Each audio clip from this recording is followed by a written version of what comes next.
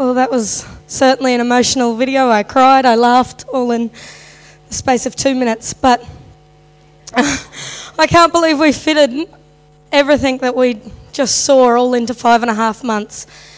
And I just wanted to um, share my congratulations to the DTS. And um,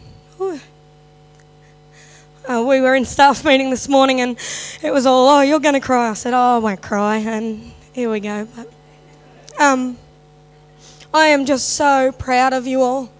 So um, proud as we shared our highs together. We shared our lows, our laughter, our tears, our ups and our downs.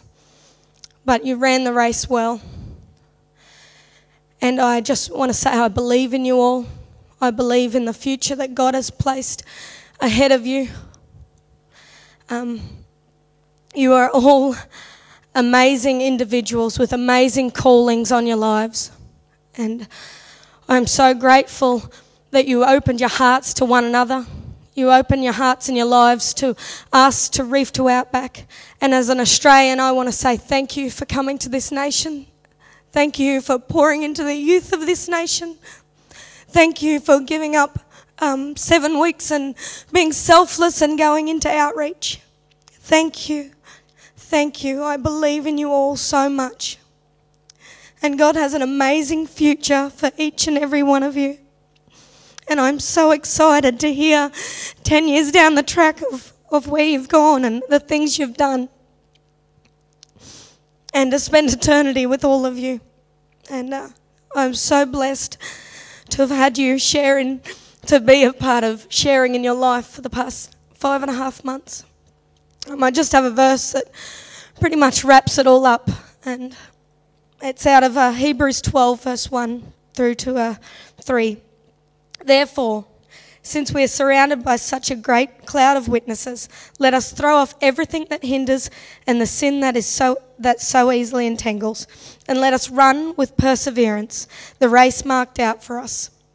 Let us fix our eyes on Jesus, the author and perfecter of our faith, who for the joy set before him endured the cross, scorning its shame, and sat down at the right hand of the throne of God.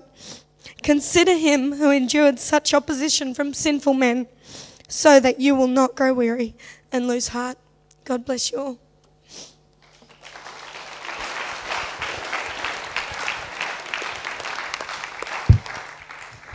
I too just want to share briefly with the DTS as we look at um, all those photos and videos and the journey that it's been. It's been absolutely phenomenal, and to have done it with each and every one of you has been a thrill and an honor. And I just want to say thank you for coming. It's been a, a season of new things for Reef to Outback new schools, new focuses, new outreach locations, and you guys have been all a part of that. You guys have an inheritance in this ministry, you have an inheritance in this nation, you have an inheritance in your outreach locations. God has given you those places, and I pray that you would hold deep in your hearts that which God has done in you and that which God has given to you. Our reward is in eternity, and I know that eternity will have in its pages the things that you guys have done over these past five and a half months. The things that He has done in you and the things that He has done through you. And I'm so blessed to look before, out at you guys and see each and every one of your stories and each and every one of your guys' lives and knowing that this is just the beginning. So I agree with Shay in saying thank you for being here.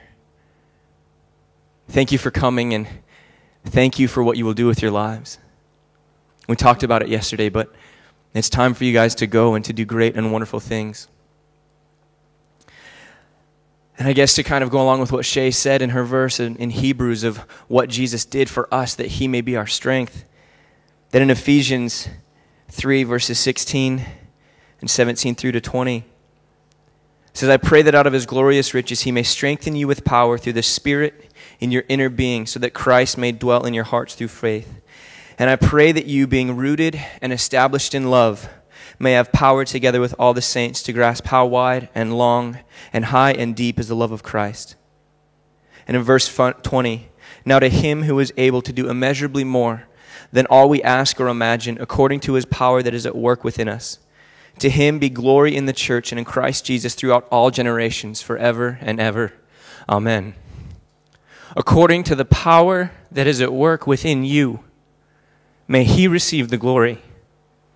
As you guys go out from this place, may it not be you that is glorified, but Jesus and the work that he has done within you. Because it's for him and it's because of him that you guys have come and it's because of him that you guys go, that he may receive the reward for his suffering.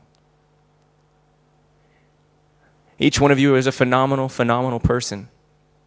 And God's going to do incredible things through you. You can do it. You can do it. You can do and will do great and mighty things for the glory of the Lord. We love you guys. We're so proud of you. We're so grateful that we get to do this as staff, we're so grateful that you guys come and allow us to be a part of your lives. We don't take it for granted by any means, but we say thank you for letting us be a part of your lives. So as you guys go home, we say that you can do it. We believe in you. We're proud of you. Thank you. God bless.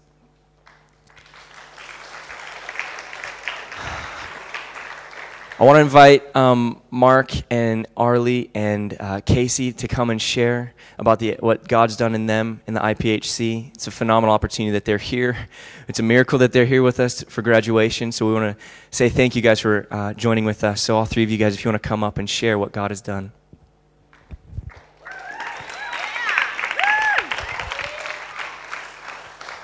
Hey, everybody. We're real glad to be here. It was a surprise two and a, three days ago we were sitting in the living room. I was shaving a coconut in the backyard. And they said, okay, everybody come to the living room. We got flights. We got our visas. They give us our visas. We're going right now to pick them up. And it just all came together so swiftly. And wow, what a blessing. I want to tell you guys a story about, uh, partly about something I learned. Um, I know God brought me to Australia. I didn't want to leave home. I was really doing real well. And I know God brought me to change my heart because I was on a track towards medicine with the wrong heart. And I know that God brought me here. Like a best friend wanting to show someone something beautiful, he, he said, You need to see this so that your heart changes. And now I think I have a totally different aspect of uh, what my life is going to be, my career as a doctor. And so Amanda and I were walking to this lady's house. Uh, her name is Cephalina. And it's part of our clinics is we do home visits for people that can't come to the clinic. Uh, we arrived and Cephalina was on the floor. Uh, and she kind of looked at us like just pathetic. And uh, and so we sat down with her with our translator and uh, we started asking her questions. She didn't have any bowel movements for a week. She hadn't been eating. She, she couldn't eat. She i mean we just asked her every question with there was no solution in sight. This lady was just had everything wrong with her. And um, i turned to amanda and i said this lady's just not even sick what's wrong here so we we talked to our translator and we said, you know, she's not sick. We gotta we gotta figure out what what is with this woman. And um, we started asking her more questions, more questions. We started going deep with her, finding out more about her life. And then all of a sudden, she just like she something in her snapped, and she just told us she says, "I just had a miscarriage a week ago." And so we said, "Oh." So Amanda scooted up close to her, put an arm around her. I told her a story about my sister had a miscarriage. Um, and the lady thought it was so abnormal. She thought she was the only one. And she hadn't moved from the floor for five days or something like that. And, and we just talked with her, and I told her the story about my sister. Amanda was comforting her.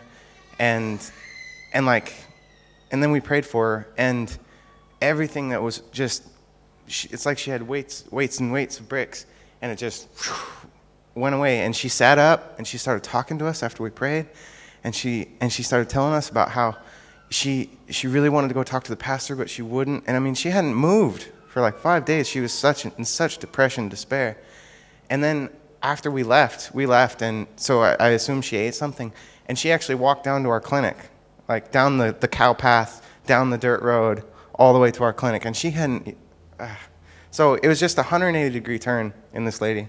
And she went from not moving, just pathetic on a wood, dirty wood floor, to walking down to our clinic. Uh, her husband gave us a bag of fruit, and um, like it really showed me that medicine and healthcare is so much more than what it is, like the medicine and the bandages. It's that these people just need someone to listen to them, to tell them, we care about you. Jesus' love cares about you. You are valuable. And they don't ever hear this from anybody. And that's, that was our biggest job over the whole outreach was just to tell people, Jesus loves you.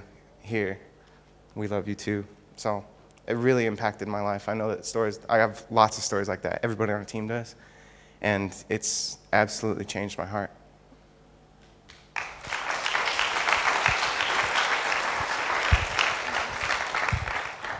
Um, I'm just going to share a story about one of the ladies that I met on home clinic. I was with Hannah and Stacy in Taja in the Highlands.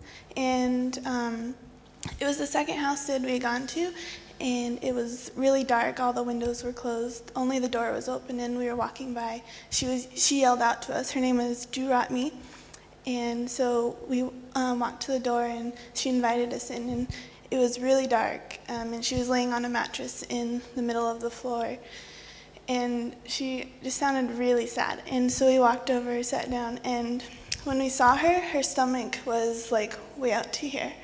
And she had been to the doctor, and they said that it was an enlarged spleen, but it was obviously more than that because that was way too big for just an enlarged spleen. So um, there was really nothing that we could do for her except for pray. So we asked her if we could pray for her, and um, she said yeah. And she was um, Muslim, so after we prayed for her, um, Hannah started asking her some questions and like, have you know, have you heard about Jesus before? And she hadn't. And after she said that, something in my heart was just like, ah, um, it made me really sad. Um, and so um, Hannah continued to ask her some questions, and eventually she led her to the Lord. And um, as we we, um, so we prayed for her again, and um, it was just so encouraging to see. Like before we had come, she just looked so hopeless and full of despair. And after we had prayed for her, it was like a 180 turn. She was smiling. She just looked so full of joy, and it was so encouraging just to see that. Um, you know, when she heard that God loved her, that she ha- you could just see it from her face, just emanating, and that was just so encouraging and a blessing to me. And so, like Mark, it was um, just knowing that healthcare is not the only way that we can help her, just telling her that Jesus loved her and there was more than that. And um, as we were leaving um, Taja, we heard from um, Bappa, the, the clinic, from his clinic. He said that she was out moving around and her stomach had actually shrunk a little and she was out throwing stones at cows. So, uh, yeah, it, it was really good to hear that she was doing better and just an encouragement. So.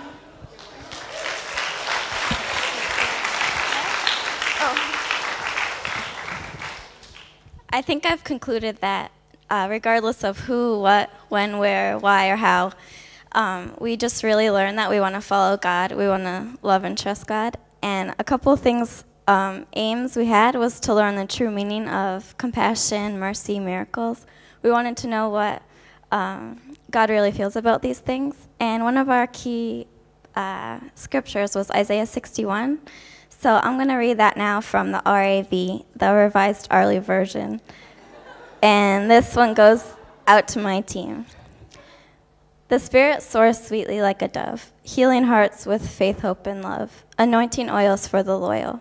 Love and life live in the Lord our Savior, graceful judgment, the year of his favor.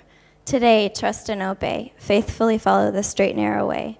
Jesus, judge of nation, tribe, tongue, the wise and foolish, old and young. A message proclaimed to all who perceive truth and conceive to believe. Calm comfort in sorrow, bright hope for tomorrow, true peace you never need to rent, steal, or borrow. The enemy prowls like a thief and a lion, deceiving even the steadfast in Zion. Victory in what looks like defeat, cracked, broken vessels, whole and complete. The fighting faithful renamed, sincere and steady, even off duty, eager and ready. Man made mirrors of God's reflection, to the wondering, wandering without direction, lost longing for love and perfection. What's ruined, the, the righteous remnant will restore, like a trivial chore, bringing beauty out of gore, what is destructed to the core, redeemed, rebuilt, twice the quality of before. Cold is now hot, what is from what was not. Last is first, blessed instead of cursed. Slow now fast, every failed test passed. Strength, not shame, in a transformed name. Hope, from hopeless and despair to blessing and fame. Mercy triumphs judgment, grace conquers sin. Running a race, led by Jesus, we win. Heavenly prizes for the faithful, devoted, and grateful. The royal loyal found famous among the lost, aimless, nameless. Crowned friend of the king, salvation my clothes as the bride wears a ring. Vast love as the ocean, living life with determined devotion. As scorching sun leaves land dry, and wings vital for birds to fly, a dawning day no man will deny. God's infinite perfect praise will rise to the sky. Achu, God bless you.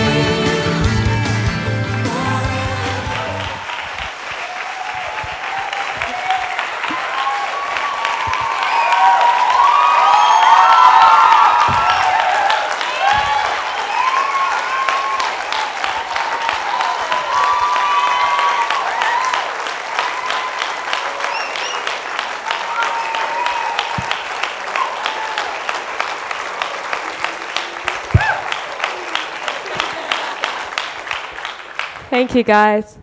Um, wow, IPHC 07. Can I just say that 4 a.m. yesterday morning, we were sitting in the back of a pickup tru- truck or ute uh, in the somewhere on the border between Papua New Guinea and Indonesia, heading to an airport where we thought a plane was coming to get us, but we weren't 100% sure, hoping that there would be another plane after we possibly catch that plane to get back to Australia. So uh, that's just one story of many stories of our time and this whole school. Which is kind of is so relevant because the word God gave for me at the very, very beginning of the school was the word explorers.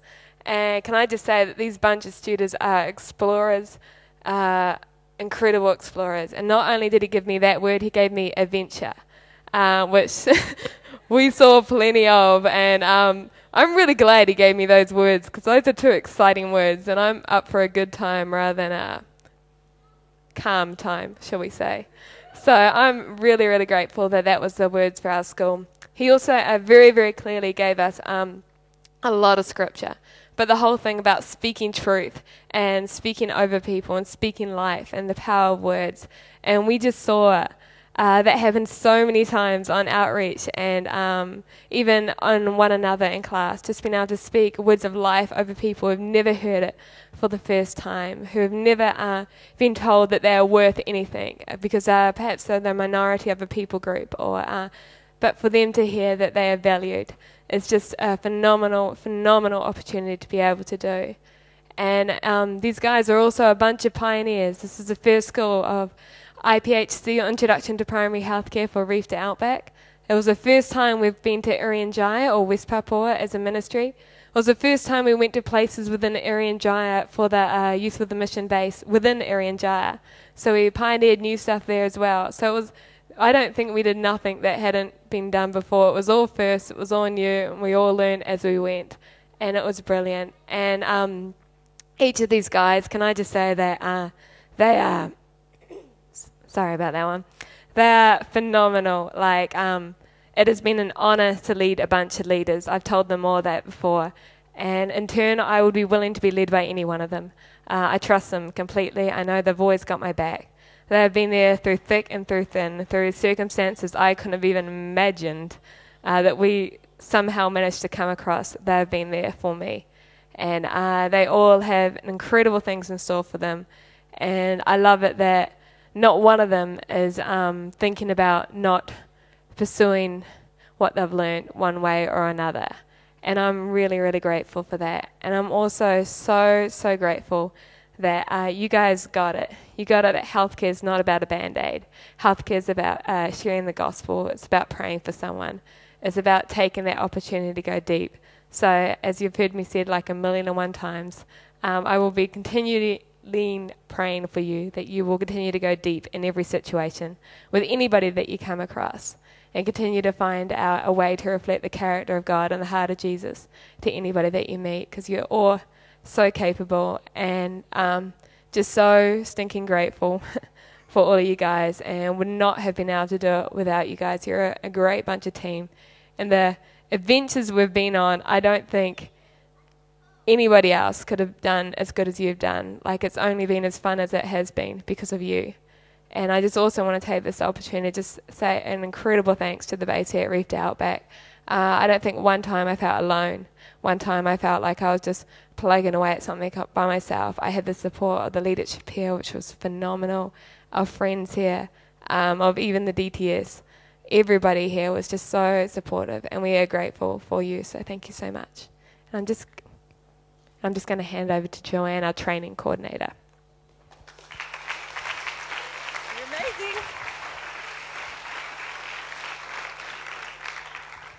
Wow. Well, I get the absolute privilege and pleasure today to thank some very special people um, who've done an incredible amount of work in the last five and a half months. And uh, they are our school leaders for the DTS and the IPHC. Because really, what you've ha- experienced over this time could not have happened without these guys. Their love, their commitment, their tears, their passion. I mean, I'm sure you've seen it all. And I just really want to say from, from bottom of my heart, I am so proud of our young leaders. I love Youth with a Mission and that we be- believe in young leaders.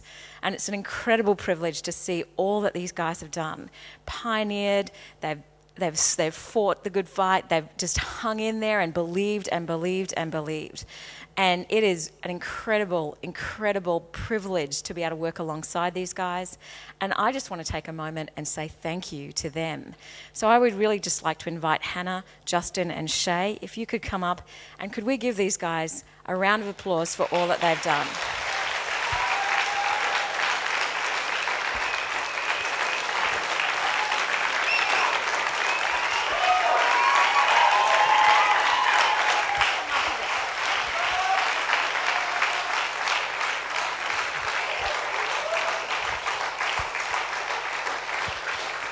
They're amazing. We love them.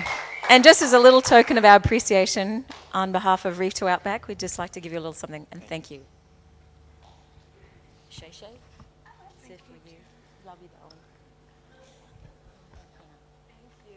darling.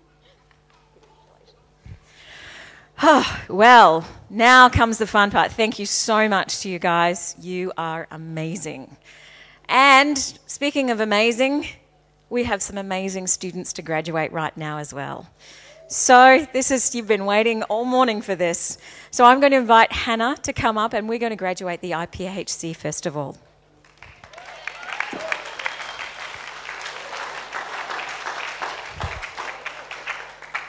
Okay, our first graduate from the introduction, the very first introduction to primary healthcare here at Reef to Outback is Amanda.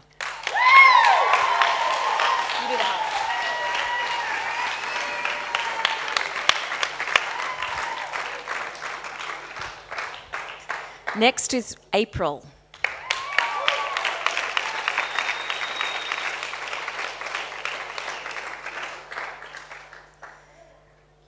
The incredible little dynamo, Ali.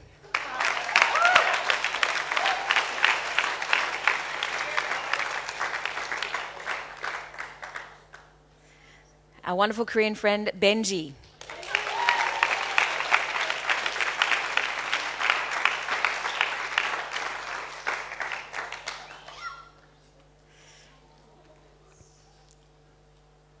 These guys have pretty much done three nations in about three days. So, um, and Casey.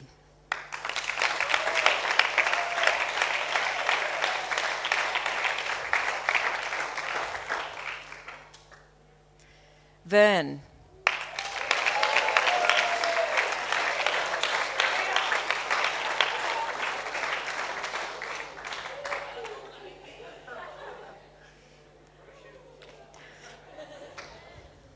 Our doctor in training, Mark.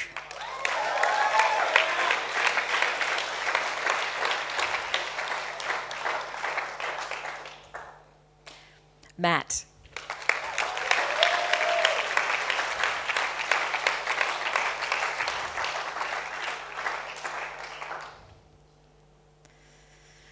And our last but by no means least, Stacey.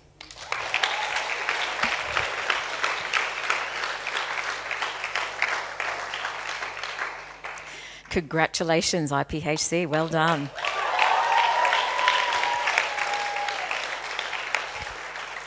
I'm now, going to invite our DTS leaders to come up and we'll graduate the Discipleship Training School for October 2007. All right, first DTS student is Adrian.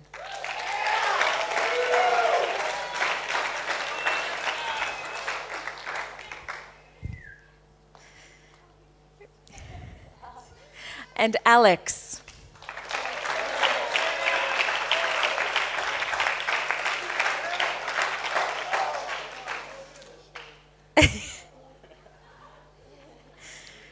Next up is Ali.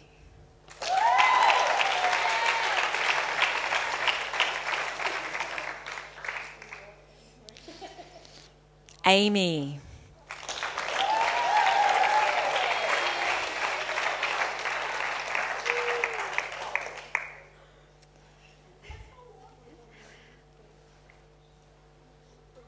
sponge.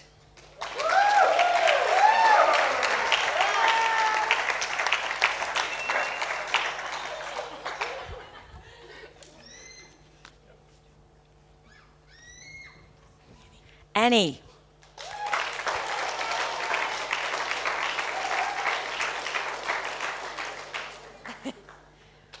Brianne.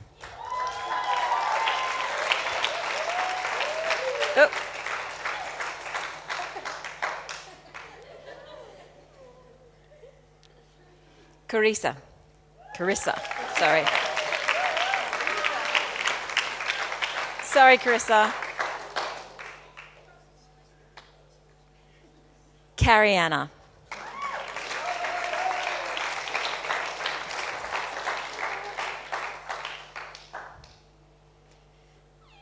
Cheyenne.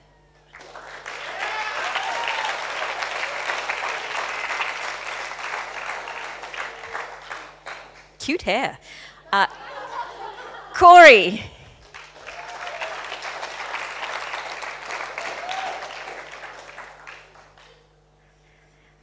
Danny.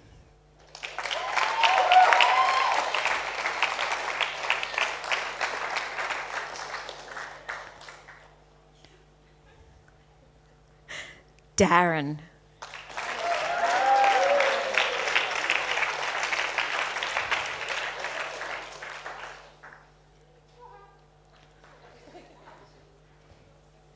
Donovan.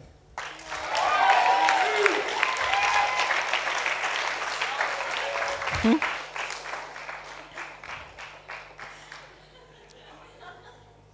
Elizabeth.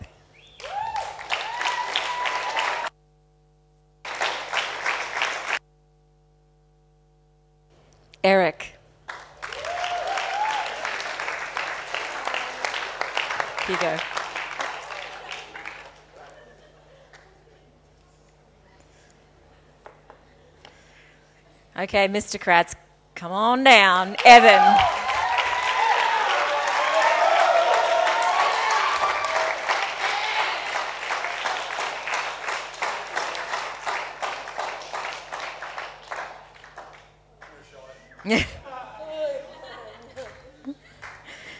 Gabe.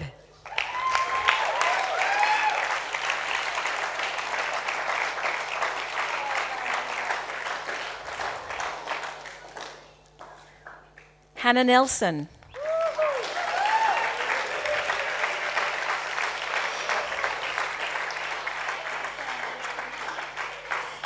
Hannah Price.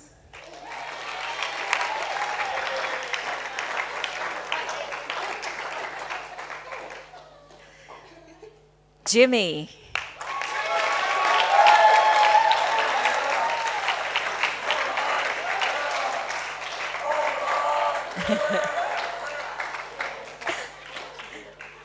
Yanina.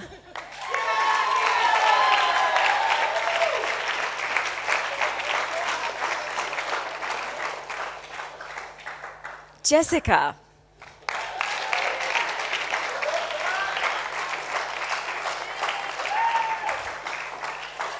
Kathleen.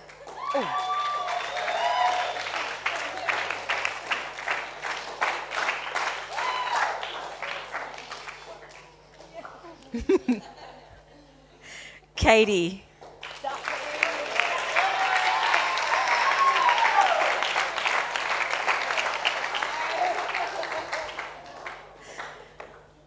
Kiwi.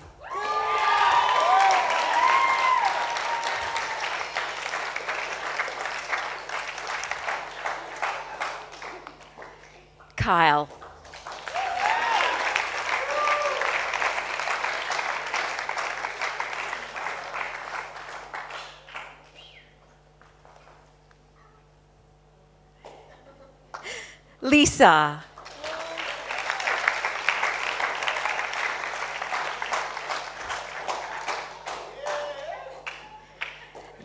Natalie.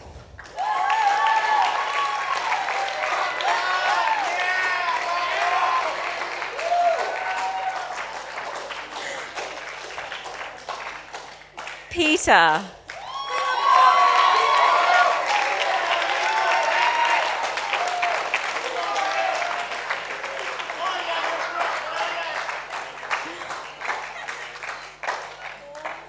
Rebecca.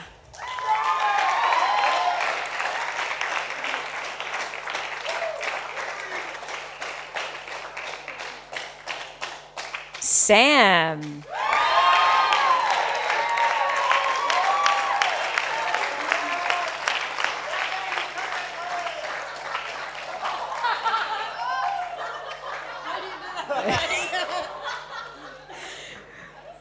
Sean.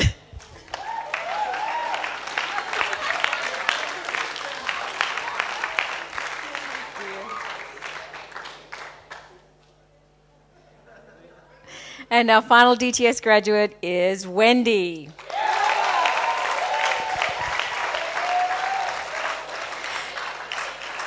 Can I ask all the DTS students and all the IPHC, could you just quickly come up the front because we want to just congratulate you and uh, can you all just come up and stand at the front, face everybody, and can we give them a round of applause, please?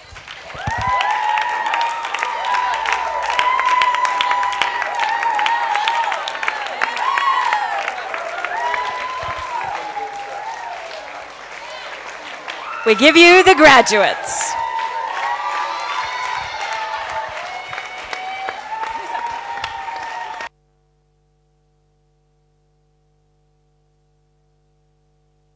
Sam just got a good hold of it.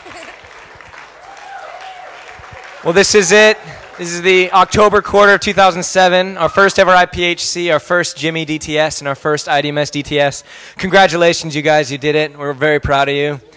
What we want to do is we want to have one last worship time together, just again recognizing who God is and glorifying Him. We started together with, with a bunch of worship. We want to end with some worship. So if we can just clear out the chairs and uh, invite the band to come up, we're just going to sing a few songs to the Lord and just really honor Him. So as we worship, let it not just be a time of singing songs, but let's, let's glorify the Lord.